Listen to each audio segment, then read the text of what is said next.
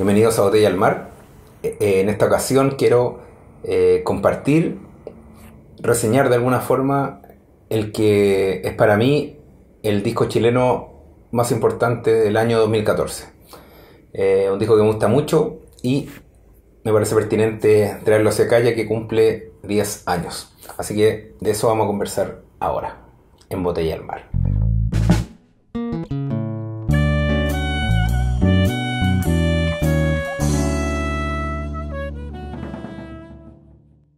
Bueno, como les comentaba, eh, tengo la idea de revisar durante este año eh, discos, álbumes que eh, estén cumpliendo décadas, 10 años, 20 años, 30 años. así que he querido partir por el año 2014. El año 2014 estuve revisando y igual hay estos discos chilenos que me gustan. me acuerdo así del del EP de Cómo asesinar a Felipe, el 5, que es bacán. Hay uno de Desastre Natural también, que Harp, que ese también me gusta. Está Bajo el Cemento de, de Caramba, que es de Cueca. Eh, está el, el de Nebuena Afrobeat también. Bueno, si uno empieza a buscar, ¿cierto? Va a encontrar discos, pero he decidido hablar de uno que me parece además eh, importante porque creo que es el mejor de ese artista, creo que el mejor de ese año, para mí, eh, y que también está vinculado con la música popular, que es algo que me interesa también, y me refiero al disco Vengo de Anatiyu, que apareció hace 10 años y que me parece un excelente, excelente disco.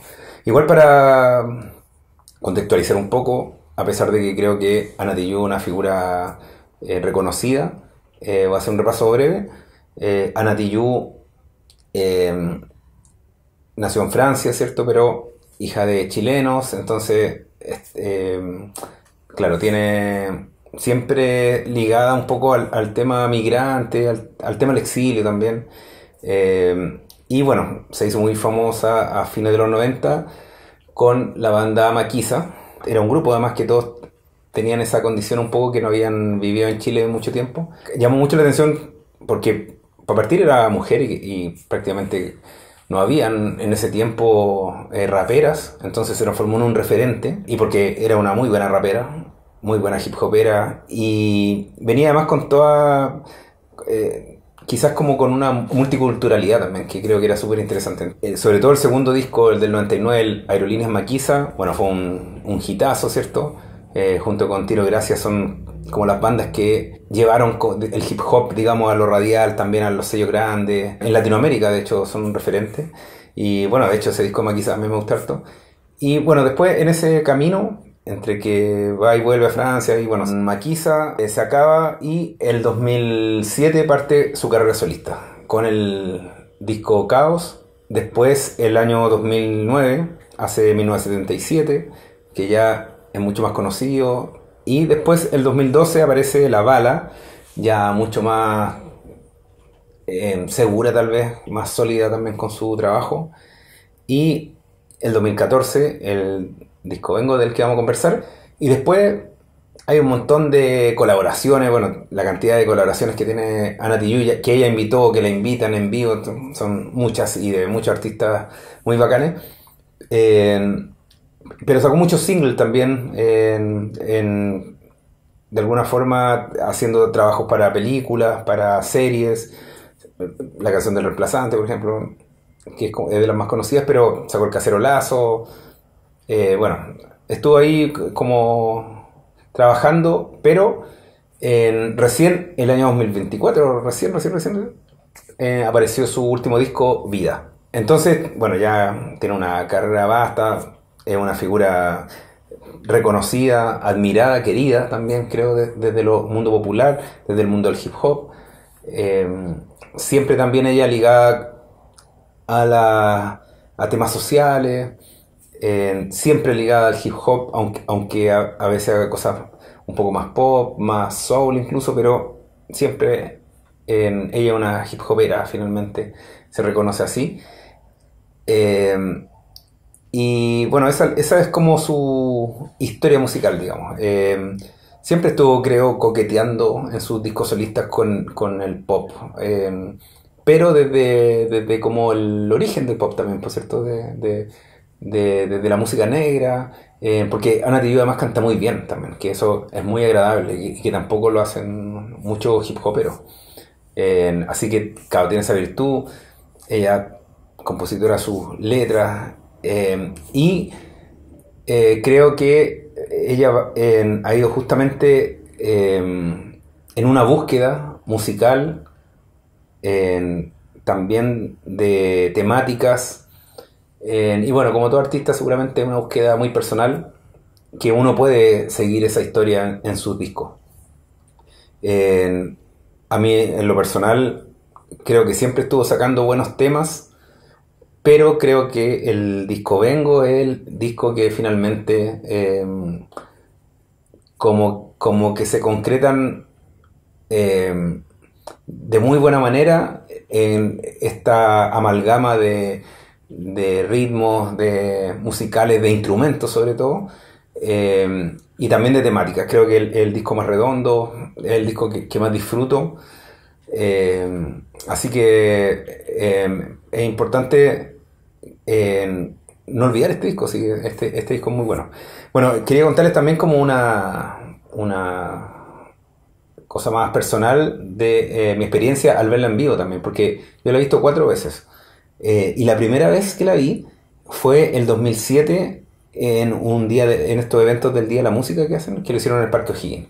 En el 2007, bueno, en esta banda eh, yo no fui a ver a ninguna en particular, pero recuerdo que cuando apareció Nati Yu, apareció sola, o sea, supongo que había ahí alguien con las bases, un scratch, pero eh, ella estaba sola en el escenario y tengo ese recuerdo de que se, lo, se metió el público al bolsillo. O sea, sola con sus canciones y su onda, eh, tenía como una impronta escénica sola.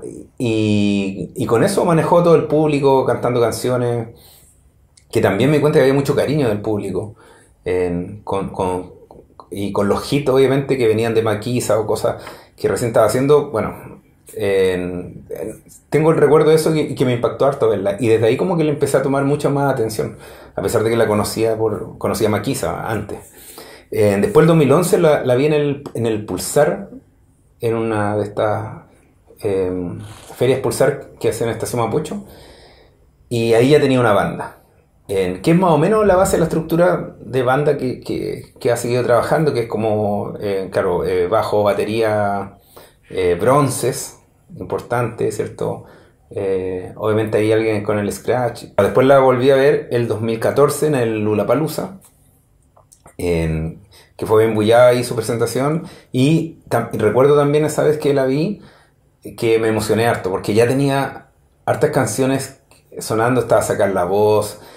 Y la última vez que la vi fue el 2016, que fue eh, porque abrió el concierto de Iggy Pop cuando vino a Chile.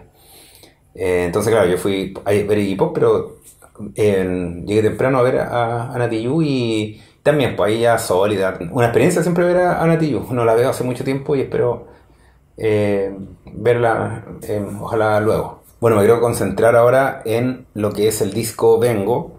se lo voy a mostrar aquí. Este fue hecho por National Records. El vinilo trae 11 temas.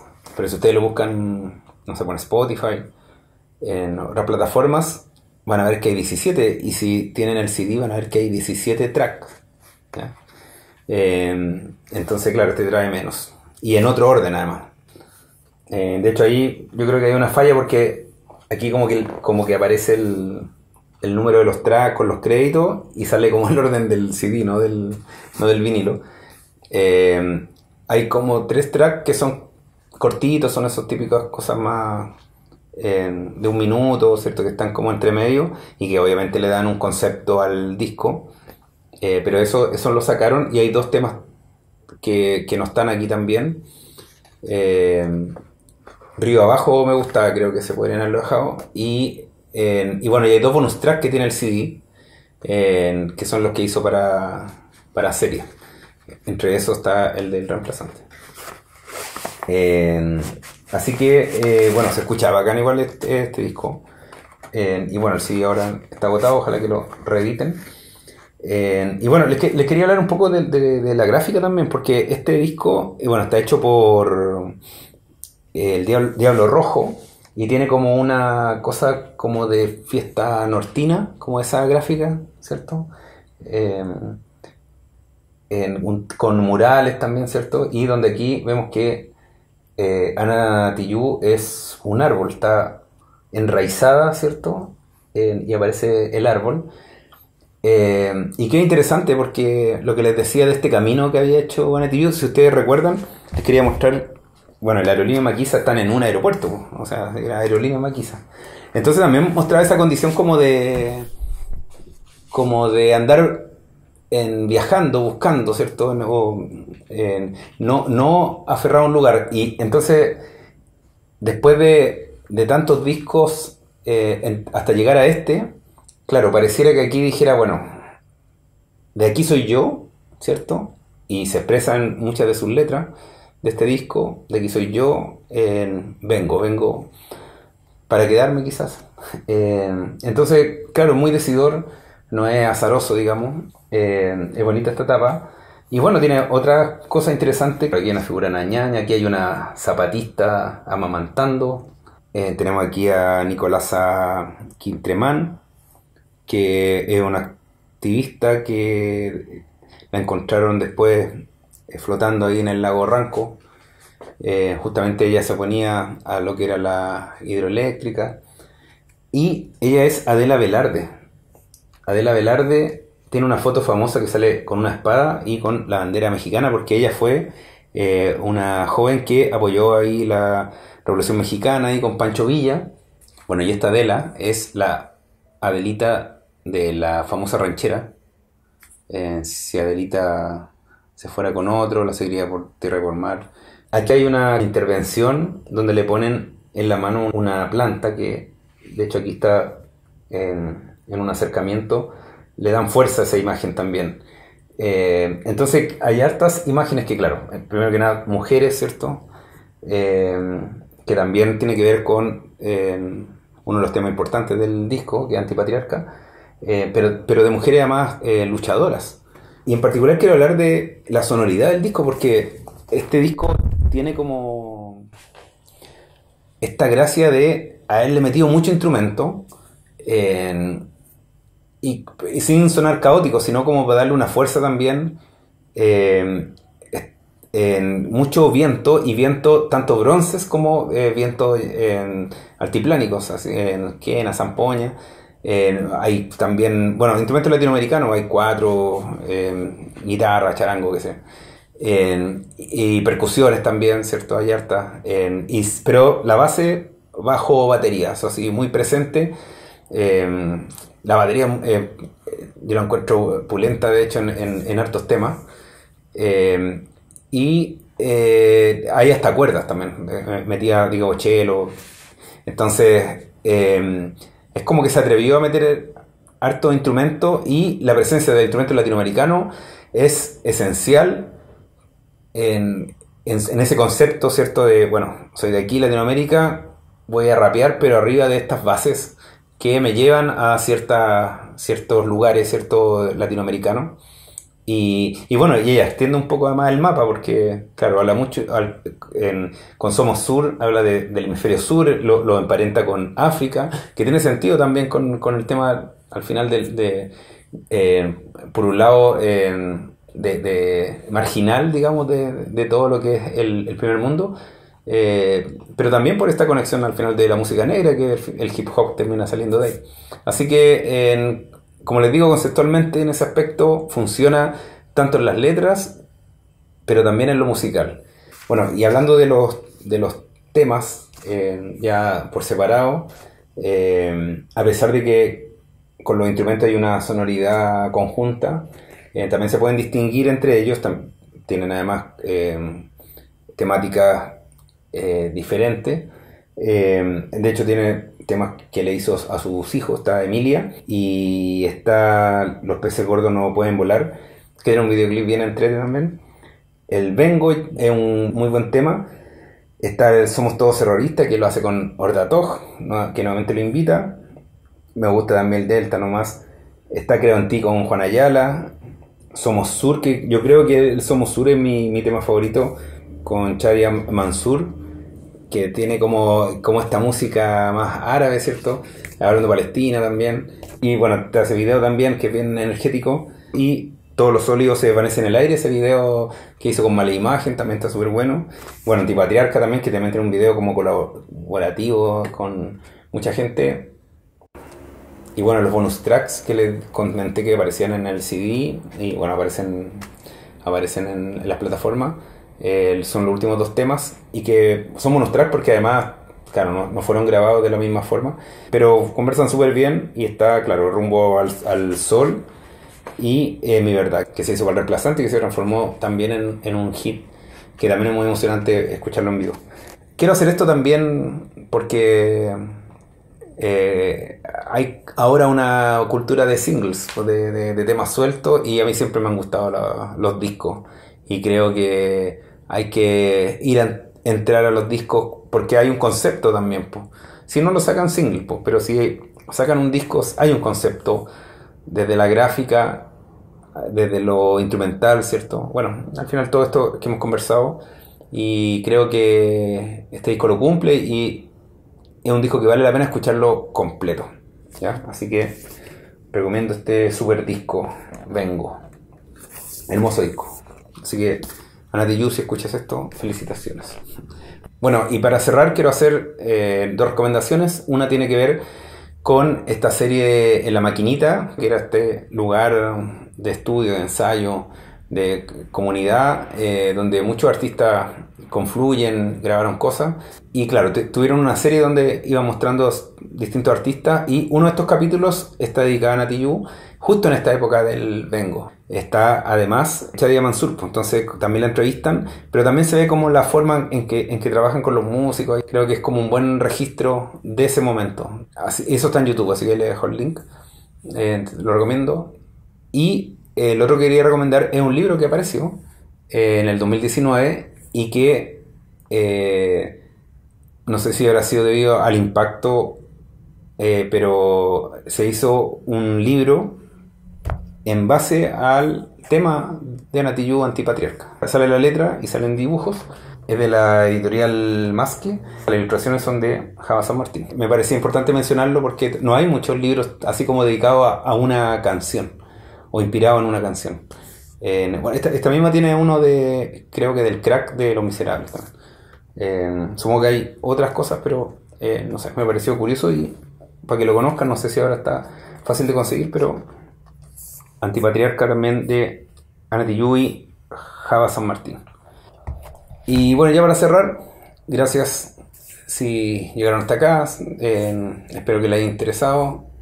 Quizás no a todos les gusta Anati pero eh, creo que siempre es bueno visitar, revisitar hitos eh, culturales y en este caso musicales.